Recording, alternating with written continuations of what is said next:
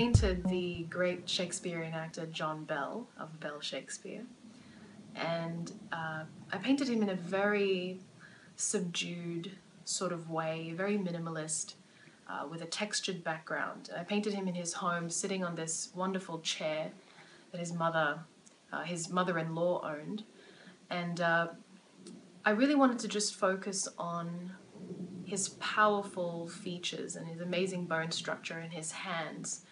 Uh, and by keeping it very subdued, I think that I'm implying his roles as, you know, uh, kings and princess, uh, princes